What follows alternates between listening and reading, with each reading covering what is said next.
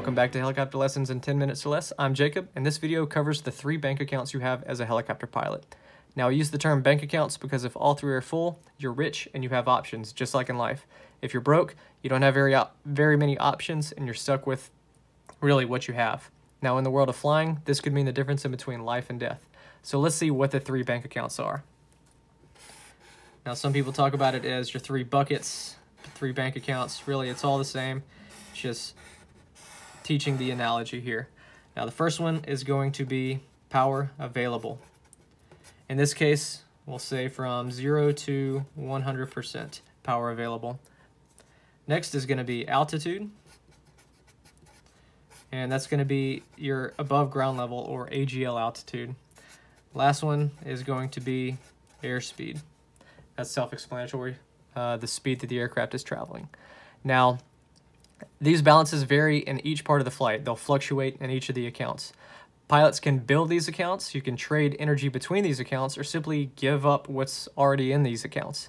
For instance, when I'm on the ground and I start from zero airspeed, zero altitude, I should have a high power available. That is, I don't have any power applied, so the available power is all the way up to 100%. So let's say that I'm getting started here, and I've got my helicopter on the ground, and I want to take off and get established in straight level flight up here. As I pull in my power, I'm reducing my power available account. Uh, let's say I need 80% to do this takeoff. Well, that only gives me 20% left in the power available account, but I start building my altitude and airspeed accounts. Now, once I'm leveled off in flight, let's say I'm at 2,000 feet AGL, uh, max rate of climb, endurance airspeed, and pulling roughly 55% on the torque. Well, this gives us some options here. I've got nice, healthy bank accounts in all of them. Let's say, you know, roughly all of them are sitting somewhere around here, 50%. I can pull from all three of them if I need. My altitude of being 2,000 feet, if anything were to happen, I can reduce altitude. I also have time because I'm, I'm higher in the air. My max rate of climb airspeed, I've got reduced amount of drag on the aircraft. I'm very streamlined. I've got a good healthy airspeed. I'm not, you know, cresting less than ETL or anything like that. But it's, uh, you know, a nice low power setting required to main, maintain this.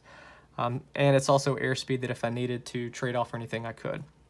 Now I have these high bank accounts um, in this situation, healthy in all three. Now I mentioned earlier how these bank accounts could mean the difference in between life and death. And that's because these are the accounts that you can pull from if you get into danger, that is, emergencies that pop up or anything unanticipated um, during the flight. So let's say you have an engine failure. Well, if you're in this flight profile, you have time and options. Engine failure means the power available bank account is just gone if you're a single engine aircraft, or it's reduced if you're in a dual engine helicopter. Um, having the other two bank accounts allow you to increase the options as far as where can you go, how long do you have in the air to make a decision. Now let's compare, compare the same scenario to a helicopter over at treetop level. So let's say we've got some trees over here. And I've got my helicopter, I'm operating over here at roughly 150 feet AGL, 5 to 10 knots, and 95% power. Um, if I were to have my engine fail, I'm right in the height avoid area, or the dead man's curve, and the likelihood of, success, of a successful safe landing is very, very unlikely. If you're not familiar with the height avoid area or the dead man's curve, check that out. I got a whole video that outlines it. Simply put, the likelihood of recovering from an engine failure in this area is very, very unlikely. Um, but let's say I have a, a, loss of tail rotor. The tail rotor just goes out, or I experience loss of tail rotor effectiveness, the wind condition. I don't really have any options if I'm low. Um, if I'm higher and faster, well, one, um, the required anti-torque required to maintain uh, my heading is lower because I'm um, I have a higher forward airspeed and the vertical fin or vertical fins offset the need for the tail rotor when I'm faster. I can also um, give up possibly some of this altitude to accelerate or dive into forward flight to get that airspeed to arrest and try to fly out of some sort of loss of tail rotor condition. But let's say I'm in this scenario here where I'm at treetop level. If I lose a tail rotor or experience loss of tail rotor effectiveness, I really don't have any options here. I'm just kind of compromising between my rate of turn and rate of descent. And I'm going right below the helicopter here. I don't really have any options. Same thing for engine failures. I'm going straight down. I don't really have any options. Here I have I have time to react. I can get into an auto. I can accelerate, decelerate, adjust speeds as necessary. I have a lot of options here. Um, another situation could be what happens if you're flying along at nighttime and your night vision goes out. Um, if I'm low, slow, and there's potential ha hazards or obstacles along the way, I can't really pull in an extra power. I've only got 5% here. I can't really trade off any of this airspeed to get up, and I don't really have altitude to give up.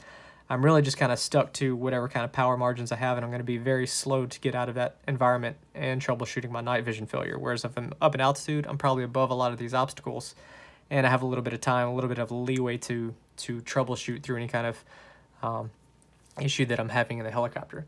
But having healthy full bank accounts give you options. Now I can trade airspeed to gain altitude with cyclic climbs.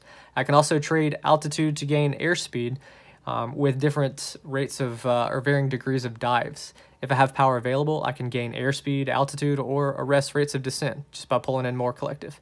It's all energy management. Think back to basic physics. All energy is either potential or kinetic.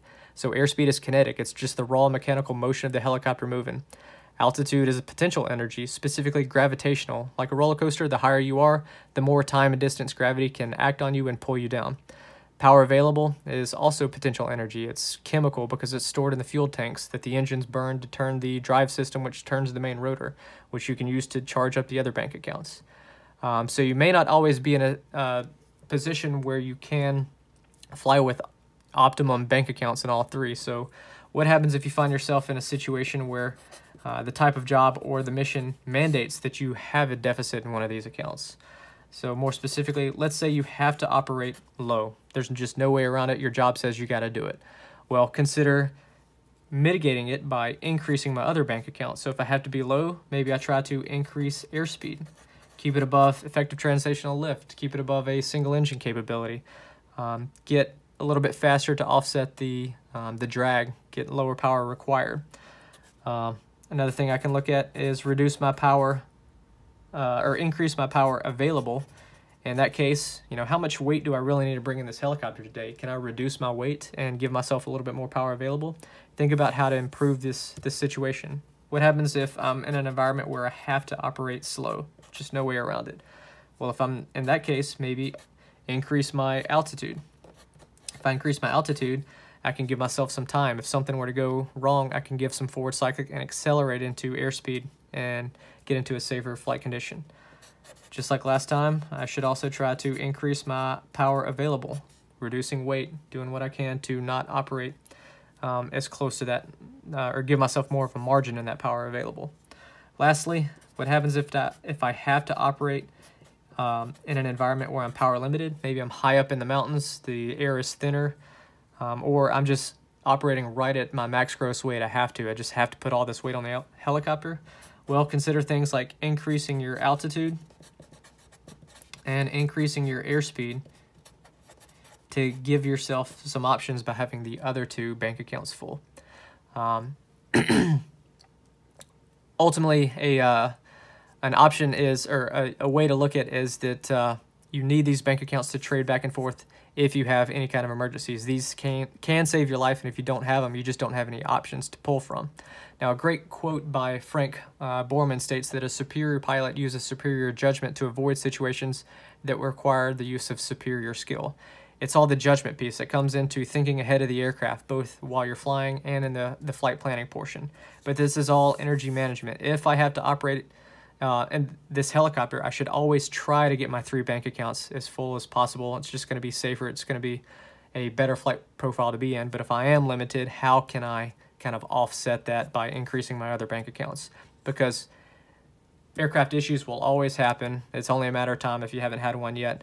And so giving yourself the amount of either time or options or anything like that can help to safely recover this aircraft. But that wraps up this video. It's about all the time I have. Once again, the three bank accounts are power available, altitude, and airspeed. They can be used to save your life in a bad situation if you have them. Uh, if you don't, you're left with the situation that you have. They can be built, traded, or given up. But thanks for watching. Be sure to hit like, subscribe, and leave a comment. As always, this is Helicopter Lessons in 10 minutes or less. I'm Jacob.